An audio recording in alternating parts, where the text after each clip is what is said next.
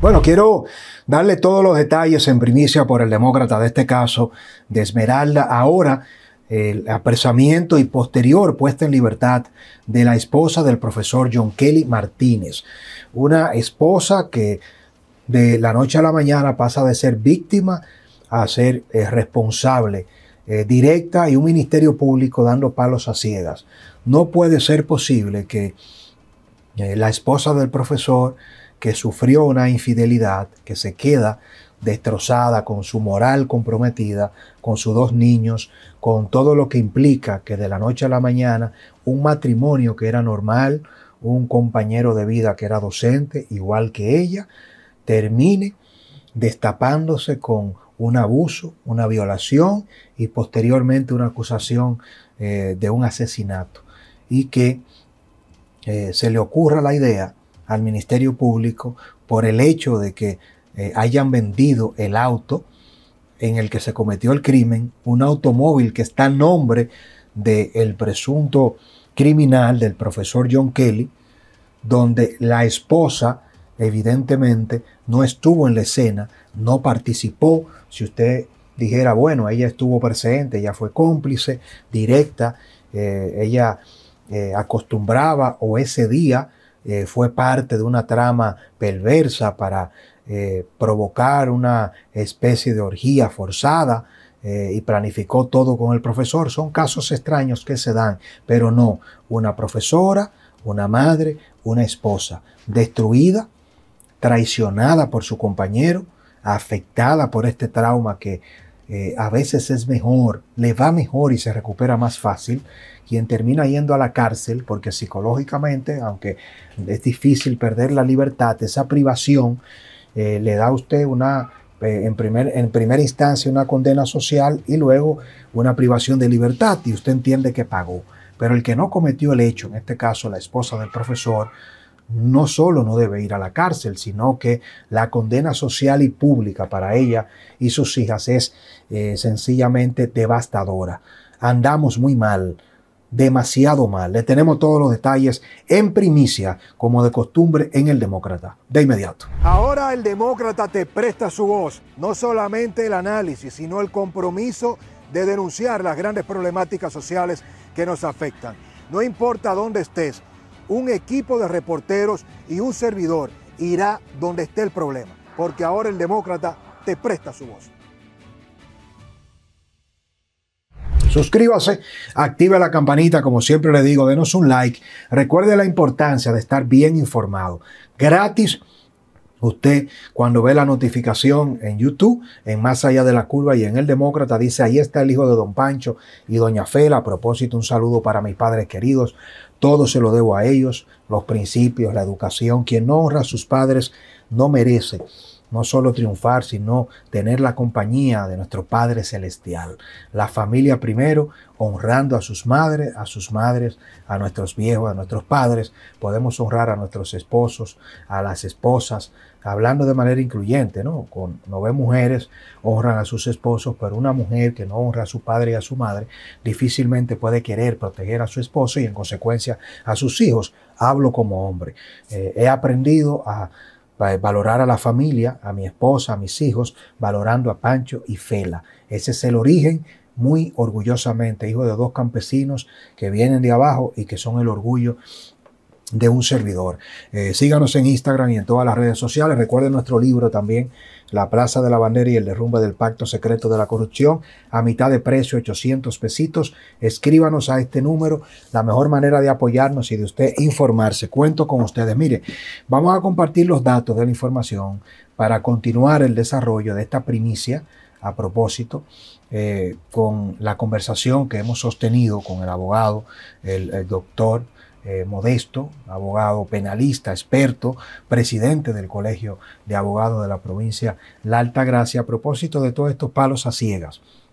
Y como nosotros nos ha tocado de manera neutral, no estamos eh, ni a favor de la familia de Esmeralda, que es una familia destrozada, que ha perdido una hija, eh, no se está a favor de nadie ni en contra, sencillamente aquí hay un responsable que es el profesor John Kelly Martínez y una variable en este caso que hay que despejar y es si los padres le dieron golpes, si participaron en una agresión física que pudo estar acompañada evidentemente de los daños que le provocó el profesor. Cuando digo que pudo estar acompañado es lo que en el programa especial que le realizamos al patólogo forense, forense el doctor Sarita Valdés, abordamos. Y a propósito, hay muchas cosas, muchos datos en este caso.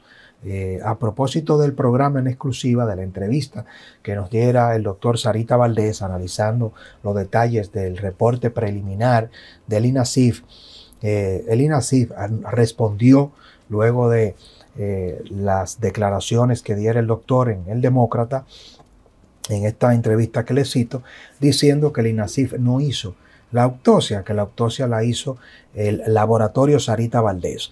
Esto puede confundir. El laboratorio Sarita Valdés es un laboratorio auxiliar del Ministerio Público para los casos que se tipifican de una muerte que no fue violenta, violenta en el acto. ¿Cuáles son las muertes violentas en el acto? Asesinatos, homicidios voluntarios, involuntarios, accidentes de tránsito, cuando la persona pierde la vida donde eh, se llevó a cabo la agresión.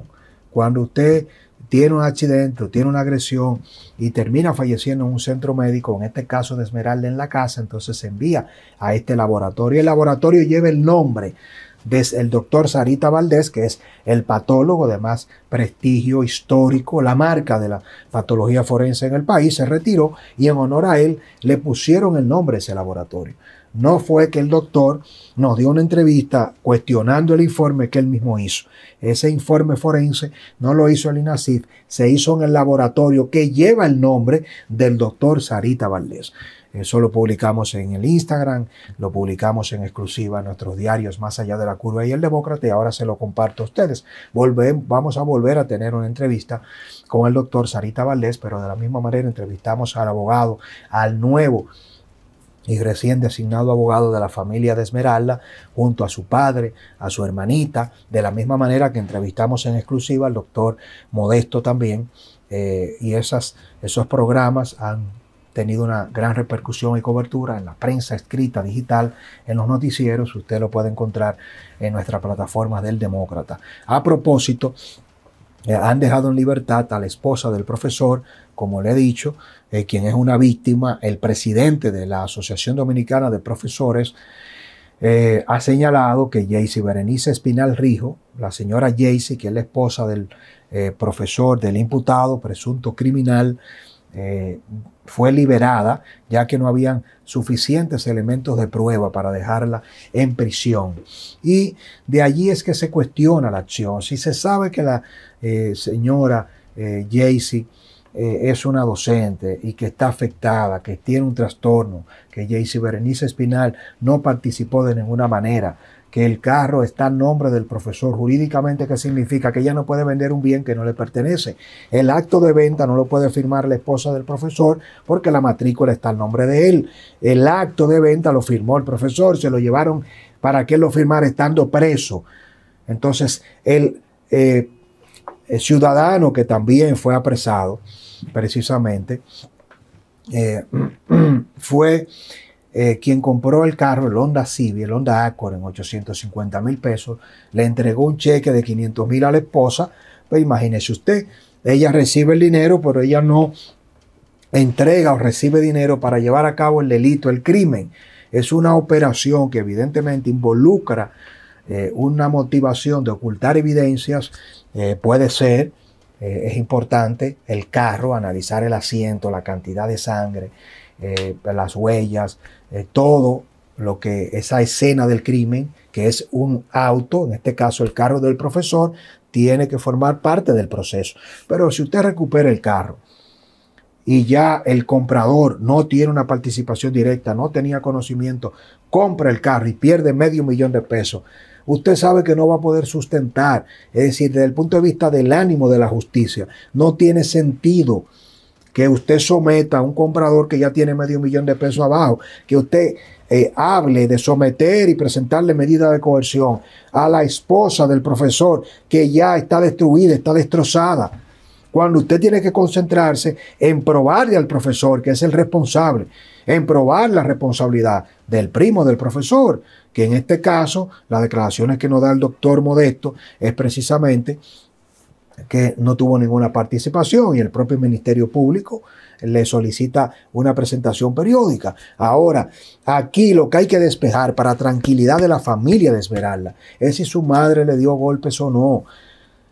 Y digo eso porque hay testimonio de las eh, cuatro menores, con Esmeralda eran cinco, eran siete personas, no era solo Esmeralda, el profesor y el primo, o dos amiguitas, eran cuatro menores de edad que andaban. Con el primo, con Esmeralda cinco menores, las cuatro acompañantes y los testimonios en cámara Hetzel dan cuenta, evidentemente, de un relato que compromete y que abre la posibilidad. Esto no es culpa, esto no descarga de responsabilidad al profesor, pero tiene que abordarse. Entonces no puede ser que usted evada la investigación para beneficio de la propia madre. Yo no me quiero imaginar cómo debe estar la madre de Esmeralda, destrozada, destruida, su padre con una operación de corazón abierto, esa familia. Entonces, si ellos no tienen nada que ver, la mejor manera de descargarlo de, es que el Ministerio Público actúe y esa es una gran debilidad que hemos tenido en, estos casi tres años de gestión de la, paradójicamente, de, una procuradora también formada, una ex jueza, una escuela con una jurisconsulta del derecho como doña Miriam Germán Brito. Usted no puede evadir la responsabilidad de despejar las dudas razonables de si Esmeralda se le dio una pela se le agredió en su casa o no, y entonces someter sin elemento de prueba a la esposa del profesor.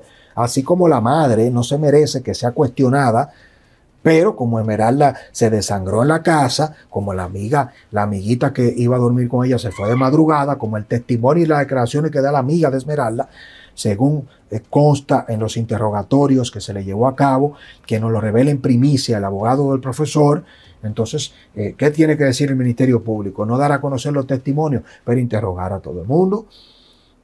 Inclusive, como se ha interrogado en más de cinco ocasiones a la esposa del profesor, pero no convertir ahora en cómplice y anunciarle al país eh, de la noche a la mañana que se le van a presentar cargos criminales por obstrucción de la justicia, por más de siete tipos penales y complicidad a una mujer que está destrozada con dos niños, que sufrió una infidelidad, lo que no se merece ninguna, ni ningún, ningún hombre ni ninguna mujer. Ahora imagínense que la infidelidad conlleva una violación y conlleve que su esposo le, le, destruya la moral eh, a, a, sus hijos, a usted como esposo y que después la presen y que usted ahora tenga que ir presa sin tener ninguna participación por un carro que se vendió y que quien autorizó y firmó la venta es el mismo imputado, que es el profesor. ¿Quién permitió que se le llevara ese contrato a la cárcel? ¿Por qué no se lo someten? ¿Por qué no lo someten? Hay demasiadas complicidades en este tipo de casos. Le cuento más a continuación en la opinión del demócrata.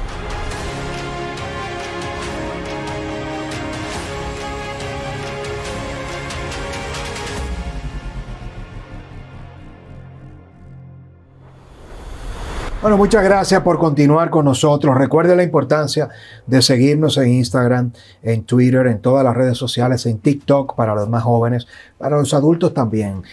Estamos con presencia en todas las redes sociales, 24/7, minuto a minuto, dándole cobertura a todas estas incidencias. Déjeme su comentario. Quiero agradecer todos los comentarios que me dejan. Gracias eh, por sus eh, recomendaciones, por sus motivaciones, por sus piropos, por las críticas que nos ayudan a crecer.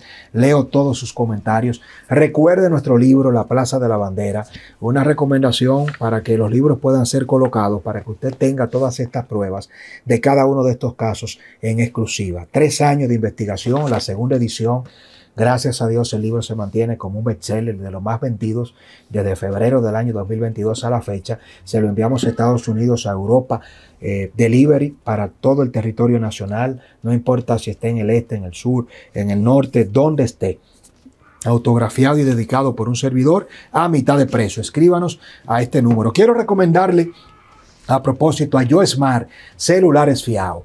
Yo Smart de Eric Ortiz Póngale el ojo a este rostro empresario joven, brillante, político, con una gran preocupación social. Eh, como siempre digo, Eric va a dar mucho de qué hablar en la nueva política. A propósito de su empresa, si usted necesita un iPhone de última generación, 14 Pro Max, eh, un Android, lo que usted necesite en equipo, no tiene que buscar prestado, no tiene que tomar sus ahorros, usted aplica en línea, llame y solicite su teléfono. Usted no importa, no necesita garantía, obviamente tampoco garantes, no importa cómo esté su buró, usted determina cuánto paga diario, semanal, quincenal, mensual y le envían su teléfono. Es una fintech especializada para el financiamiento de teléfonos celulares con garantía de entrega inmediata. No tiene que ir físicamente, se lo envían a donde usted esté. Así que tómeme la palabra, una recomendación de su amigo, el demócrata. Mire, estamos hablando de que eh, este caso es sencillamente como República Dominicana, parece que este caso lo tiene todo.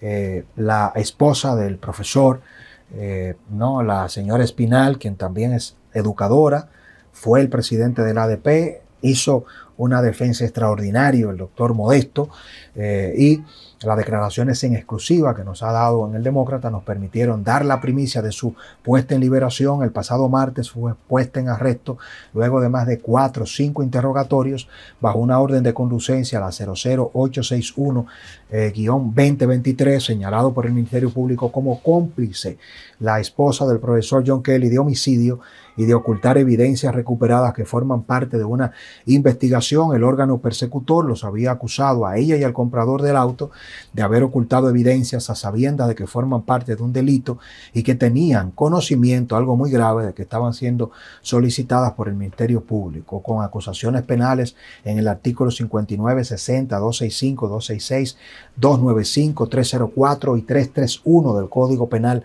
Dominicano en perjuicio de Eligio Richies Castillo, el padre de Esmeralda, y Isabel Martínez Richies, la madre de Esmeralda. Es decir, que mínimo a la esposa del profesor, el Ministerio Público buscaba que le tocaran de 10 a 15 años por presuntamente vender el carro donde se cometió el crimen cuando ella no era propietaria del carro, no era usuaria del automóvil, no estaba ni tuvo ninguna participación. Cuando lo que necesita es ayuda psicológica. Esta señora está destruida, ha hecho un gran esfuerzo, da pena con los cuadernos, las mascotas. Imagínese usted ya frente a los estudiantes, cómo darle clase a jóvenes que conocían Esmeralda en el mismo centro educativo donde daba clase el profesor, que termina convirtiéndose en un violador, sin ella haber cometido una infidelidad, haberle hecho daño a Esmeralda, no tuvo ninguna participación. Entonces, eh, es aberrante, es cuestionante, indignante. Yo lo voy a dejar hasta aquí, porque si yo me expreso y me desahogo, con todo lo que pienso de estos fiscales, la mayoría corruptos, fiscales complacientes, fiscales que eh, siempre se van por la parte más débil. Al profesor, 20, 30 años de cárcel, pero a su esposa no, de por Dios. Al comprador del carro, bueno, al primo, el primo andaba. Debió tener alguna participación. Acompañó al profesor en tu presentación periódica para el primo y cárcel le di a 15 años para el comprador del carro que cayó un gancho, un buen dominicano, que no tenía nada que ver. Yo no creo que así se haga patria. No creo que así se haga justicia. Las cosas no van bien. Yo quiero que usted me diga qué usted piensa. ¿Está usted de acuerdo al pollo al Ministerio Público cuando apresa y buscaba someter a la justicia a la esposa del profesor? Usted, al comprador del carro, ¿usted cree que la esposa del profesor con sus dos hijas, que nada tiene que ver, debió ser sometida a este tipo de trauma? Actúa bien la fiscalía, el ministerio público, cuando se hace de los ojos de la vista gorda con los verdaderos responsables, le pasa la mano a personas que tienen que investigar en este y en muchos otros casos y le marcha con tanta fiereza a gente inocente. ¿Qué piensa usted de esto? Leo sus comentarios. Bendiciones.